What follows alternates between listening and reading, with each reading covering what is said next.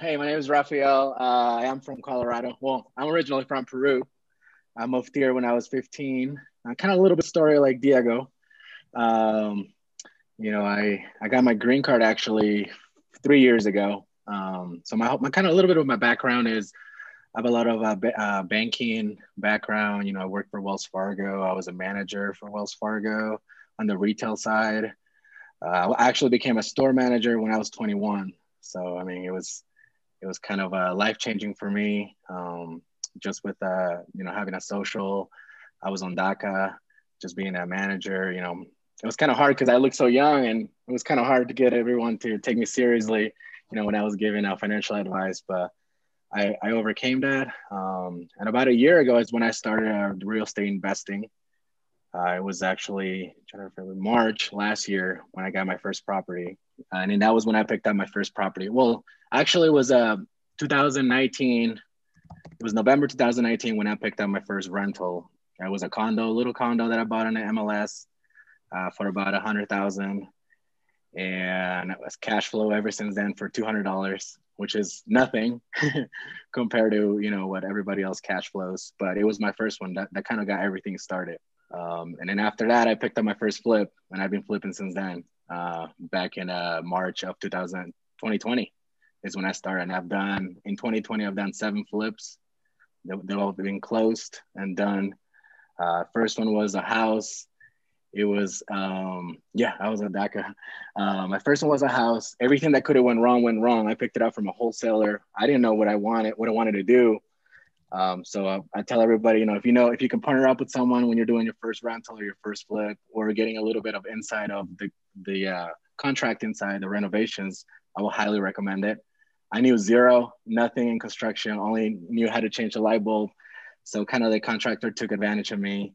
Um, I didn't know what I wanted to do. I kind of it was a two bed, one bath. I kind of just went in and made it a four bed, two bath, thinking that I that I knew what I was doing, kind of like the HGTV uh, shows. I was just like, okay, well, we're gonna do this, we're gonna do that. I ended up just netting ten thousand dollar in a flip. That was that kind of got started. Uh, everything started. Um, if I would go back, I would do everything all over again, try to flip it, like you know, get better uh, profits. But um, that kind of got everything started. It's like it's all about the knowledge. Like they say, you know, your first your first deal isn't gonna make you rich. It, it, it was it was all the knowledge that I that I got from it. So you say you found it on the MLS. How did you fund it? Uh, so the first deal, it was a rental. So that one I funded through, it was just regular owner occupied uh, property. Uh, I ended up renting it within like a couple months after, uh, just because I had, I was gonna live there, and then eventually it just ended up living uh, with my in-laws. So that's kind of how it happened, and just kept it like that through just regular financing, 30-year mortgage. And with your first flip, how did you fund that one? Uh, so that one I got it through a wholesaler and I found it with a hard money lender. Uh, yeah, they lend you up to 80%. Uh, the 20% I had to put out of pocket, um, which was like 30K. And then I, and then I pay for all renovation, which is like another 30K. And was that hard money lender in the Colorado area or were they a big bank or was it like just? In- uh, uh, so that one was in California. I actually had gone to a, uh, like a, like a meetup, uh, back before I started uh, uh, flipping or doing anything in San Francisco. Uh, some of the it was a Hispanic guy. His name is Raul Luna. He was a big guy over there, and one of the people that were sponsoring, uh, there was a hard money lender there, and they had like a really good uh, deal, which was one point up front. It was only one point at like eight percent, which was like nobody beat it. I mean, I don't think nobody beats it till this day on a hard money. Who was that? So who's the uh, bank? Uh, the bank is uh, Conventus. Yeah. So, so you you did the flip. You have that property. What does that look like now? What is the wh- where am I at now, or what is that? Yeah. What does that flip look? Okay. Yeah, like what do you so, do now? Okay, so after that flip, you know everything that could have went went wrong. In the middle, that I was under contract. You know, two days prior to me giving the keys to the seller, uh, I, I got a condo deal, and I was like, wow, okay, I've never done a condo this is kind of on the cheap side. You know, I have a little bit of money because obviously I don't have that much money to fund a. How'd you get the condo and, and all that though? Oh, I got I got it through a wholesaler. So prior to all this, my number one thing that I will tell everybody, whether it's a rental or flip, is I signed up to a bunch of lists in for wholesalers literally all over all over the United States. I signed up for California, Miami, Colorado, and I just started analyzing a lot of stuff. So I analyzed every deal, you know, before I, that way I got comfortable. So once I got that condo, I was I already had a deal. I already had done that flip. I was already ready to close. It was like very cheap, and I was like, you know what? I'm going to just uh, go ahead and do it. It was literally, uh, I think I only had to put ten thousand out of pocket because it was they were lending ninety percent, and fifteen thousand that it was the rehab. So I was like, let's go ahead and do it. I didn't have that much money at that time, so I called my brother up and I was like, hey, you want to go halves? And then he's like, okay, I trust you. And then we went ahead and do it. So he put like 15,000 down. I put 15,000 down. And that one actually, it was like, it was, we sold it for 150 cash offer, literally had the condo for maybe like one month and a week. It was sold within four hours that we put in MLS. I was hooked. I was like, wow, that condo got sold. I was like in four, I had three offers within four hours. I accepted the highest one, which was 3,000 over asking price. I was like, geez, that's amazing. And I and I, I closed that one within like a couple weeks. It was a month and a half. Uh, and then I was hooked after that. I got condos after that. All right. So what do those systems look like? Like, okay, you flipped a condo, great, but talk to us about what that process of flipping that condo looked like. What went right? What went wrong? You know, give us the nuts and bolts, not just I flipped. Like, tell me everything. I want to know. Yeah, yeah. So got the deal. Uh, I went to look at it. Uh, this was like a first come first serve. Looked at it. Uh, I, I, brought a guy at the time, and then we went over it. He's like, "Okay, this is about this is to be about eight thousand or ten thousand for the rehab." Uh, they were selling it, I think, for one ten, uh, and the ARV was one fifty. Um, so so that that was a pretty good deal. Well, I you know, and I was like, well, this is gonna be quick in and out. I don't have to worry too much. What worse can go in a condo? three things that you don't have to worry that you got to worry in a house than a condo is the landscape, the roof, the sewer line, or structure. So that's like four things. I don't have to worry about any of that because the HOA takes care of it. So I was like, Can okay, well, all I'm, yeah. So it is a structural uh, roof, uh, sewer, like the sewer line, and what's the other one? Landscape. So, so those four things, I, I never have to worry about that in a condo because all that's taken care of by the HOA. Even the balcony, I had a, I had an issue with the condo where the balcony was like kind of falling apart. Called the HOA, HOA guy was like, "Well, we're gonna take care of that." So that was kind of nice. Um, so yeah, and then and then I, I went under contract. I think put ten thousand down because that was my twenty percent. It was like fifteen thousand down, twenty percent and then I had the other 15 that my brother lent me lend me pretty much to take care of the uh, the rehab, and then some of that was closing costs, holding costs, and all that. Then then pretty much just listed it with a realtor after it was done.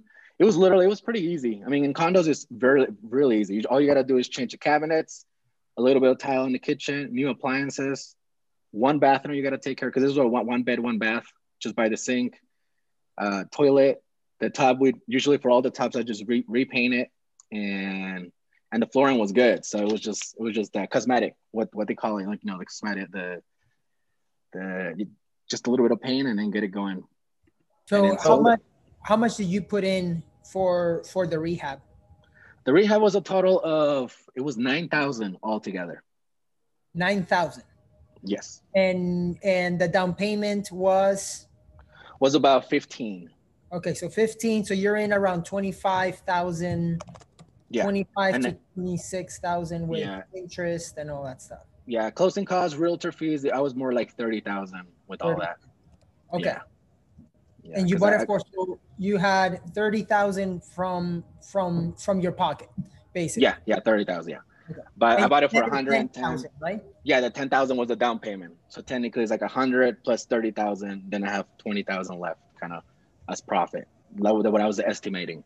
But then you got to pay closing costs. It was more like seventeen thousand that I ended up profiting, and just pay my brother. Uh, I ended up paying him eight percent because he didn't really. He was just the money partner. He didn't do anything on it, so it was just the eight percent. Paid him that, and then kept the rest. So you were hooked after that, and you came to Nashville and we met, and you said that yes. like you've done more of these. Can you tell us the process of how you're getting them, how you're scaling your business? And then you said something that was really key. You said you're you're doing these and it's really simple because you already know how much most of your costs are going to be because it's really easy. So Correct. talk to us about how you're finding them, processes you're putting in place. Uh, and, and yeah, we'll dig into it. Yeah. So after and doing that one, yeah. quick, really quick, all of these are in Denver, correct? Because there's some people asking here where they are in Colorado or yeah, Colorado. Yeah, yeah, definitely. I've heard in other places condos may not work, but this is specifically for Colorado. Just because a condo you can buy for 150 for a one bed, one bath, and a 200,000 for a two bed, two bath, where you know a home it's like so much expensive, like 350, 400. So I am on the more affordable side, where more people can afford it, like a like a single person or a couple, a young couple, or someone getting retired. And so banks will banks are funding these, right? Like yeah. banks, oh, yeah, sure. like okay, okay, yeah, yeah. Go ahead. So how are you how are you sure. getting them all that? Okay, so now after that, after I had those two flips done, uh, the wholesaler kept sending it, um, and then I, something I realized is that uh, condos. I I created this little formula for myself, where a one bed, one bath, I know that it's gonna be ten thousand on the on the higher end, and for a two bed, two bath is or two bed, one bath, two bed, two bath is about fifteen thousand to maybe exaggerating twenty thousand. So after that one, I kept getting wholesale deals from uh, from for condos from wholesalers, and then at that point, I just decided I was like, I don't need to see them anymore. I mean, what what all do you have to see in a condo? No, you don't have to see the roof. All you gotta do is change the, you know, just a few pictures, and just look at things. Everything is inside. So you know, I, I started using that, um, you know, that formula that I kind of created, and I just get into wholesale. And sometimes there was like, you know, whoever gets this this one first, because you know how real estate is. Whoever whoever whoever wants to send the the earnest money, you kind of get it that get it on contract.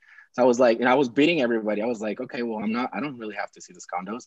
So I, just, I was just sending my earnest money and then closing within a week. So that, that's kind of how I was doing it after that. How many, how many have you done now? I've done seven, uh, but I'm already under contract for two, two condos in January, closing uh, nice. uh, one tomorrow and then one, another one next week. And this is all coming from wholesalers? Yeah, all from wholesalers. But I actually started wholesaling this uh, January. So I'm, I, I, landed one deal already uh, that will be closing next week. So I kind of just trying to trying to get my own deals now, trying to cut the the middle. Tell, tell us about that. Okay, so after you know after I was doing all this, I, I got a little bit busier, so I decided to just bring in a partner.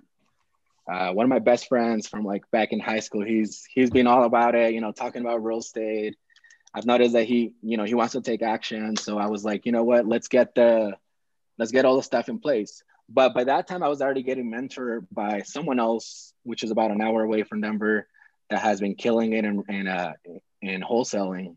So she told me, you know, what what our specialty is text blasting. Uh, with that's what works for us. You know, a text. Um, I mean, all of them work, but a text for us is um, something that you, it will stay in your phone that I feel like we get a lot of replies, whether they're no, yes, you know, maybe interested. Uh, so we use a system called Launch Control, um, which is very popular.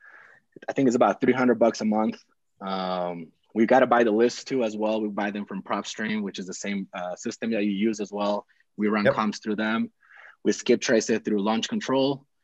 Uh, and then we we send the text blasting uh, to everybody. If it's a thousand in the list, we try to do them, you know, a little bit in, at eight in the morning, then a nine, a 10, and then just try to reply to everybody else.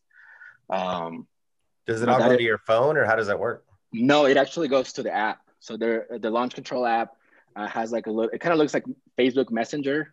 Uh, so it just pops up on the bottom of the laptop and you just reply to whoever replies back. So I mean, you get a lot of no's, but then you're like, oh, well, what is your offer? So you're, you have to comp a lot of properties. So after we started that, we've been comping anywhere from five to 10 we're already in conversation with a few. I, feel like we get a lot of warm leads, and we are signing. Uh, we, we already got a contract that we signed uh, yesterday, so hopefully we get that to the other side.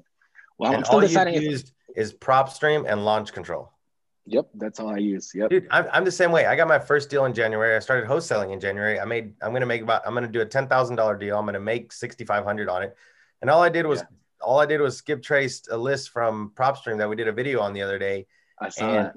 that was it. Like I just oh, yeah. did you watch it? Yeah, yeah, yeah. I, I watch it. I watch it. Yeah. Just cold call, and that was it. Yeah, it's crazy. I mean, I mean, I think everything works. I mean, I see some people doing mailers, cold calling, texting. You just gotta do, just gotta choose which one you're comfortable with.